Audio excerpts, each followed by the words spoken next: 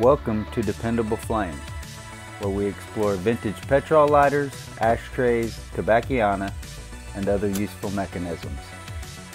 Make yourself at home. Today we have a vintage 1976 Zippo Slim lighter with a really cool two color painted graphic featuring the Atlanta Falcons NFL football team. Slider still has the price sticker attached to it, though that price sticker looks like somebody may have tried to peel it off at some point. It's got a little bit of damage to it, but I decided to go ahead and leave it.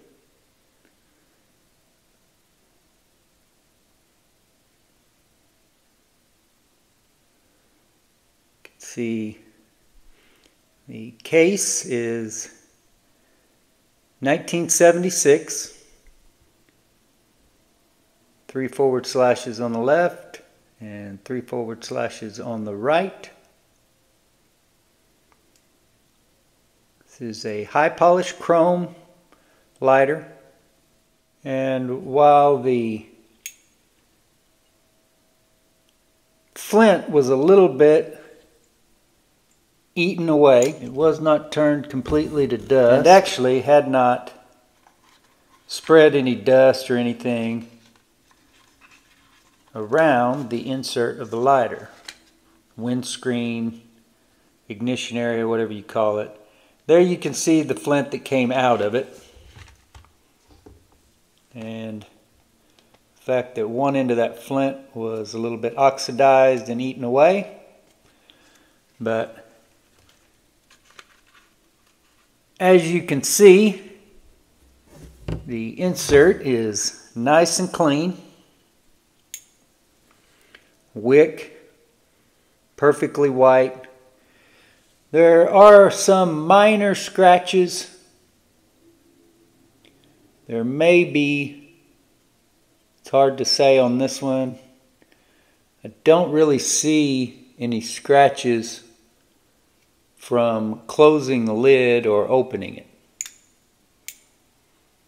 There are other scratches there on that windscreen, but I don't see any of those sweeping scratches or scuffs that you typically will see.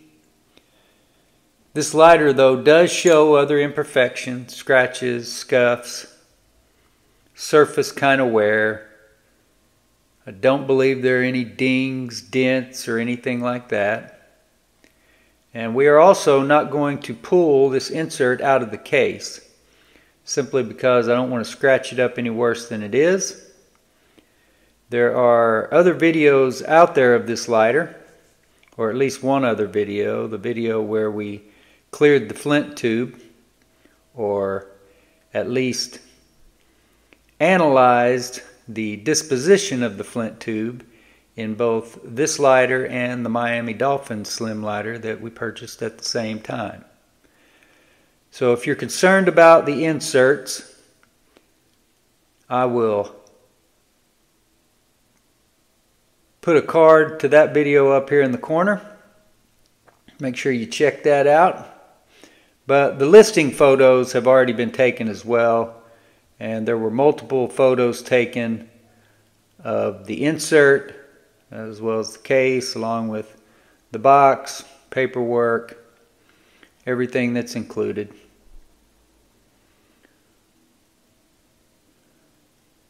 So the Atlanta Falcons football team came into existence on June 30th of 1965 and played their first game in 1966 according to the Wikipedia article on the Falcons.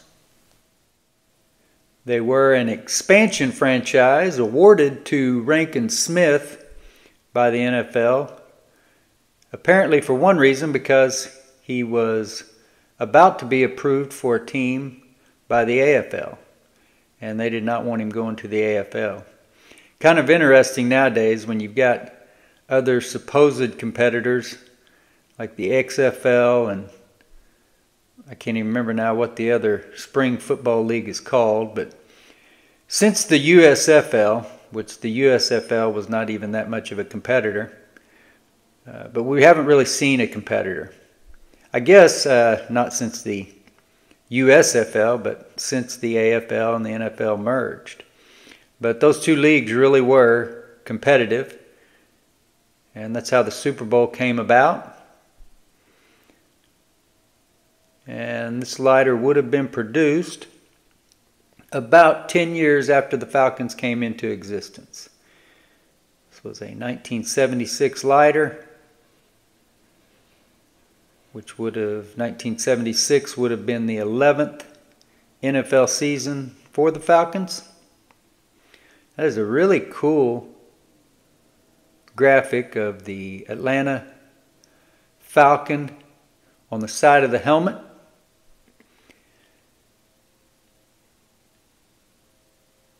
As a kid, I was sort of a satellite Atlanta Falcons fan, as there were several Oklahoma Sooners that played for that team, or several former Oklahoma Sooners. Ricky Bryan, Scott Case, seems like there were uh, Tony Casillas, maybe another one as well, back in the 80s. So I was aware of the Atlanta Falcons growing up simply because of the connection with those OU players. And the Falcons have been to a couple of Super Bowls. I believe it was uh, back in the 90s and then also about 2016.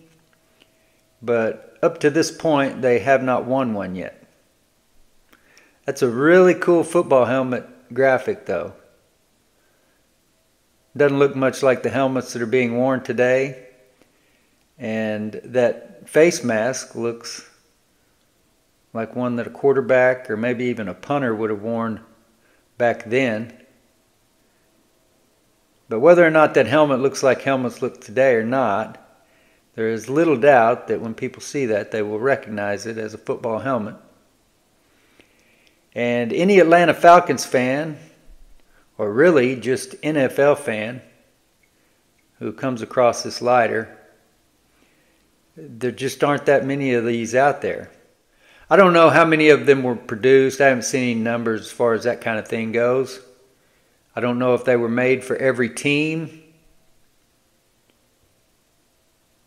I've seen the Buffalo Bills, I've seen the Pittsburgh Steelers, I've seen most NFL teams, but typically they are not in this kind of condition with the painted graphics still intact. Usually the paint is largely missing. And lighters are a little bit rougher looking and have been used for years and years where this one hasn't been used at all. It's just ready for some NFL fan or Atlanta Falcons fan or maybe you're from the Atlanta area and collect things of local interest. Well, here's a lighter that you can fuel up with petrol fuel. Install a new flint and you'll have a stylish working new lighter to light up whatever it is you smoke. Until next time.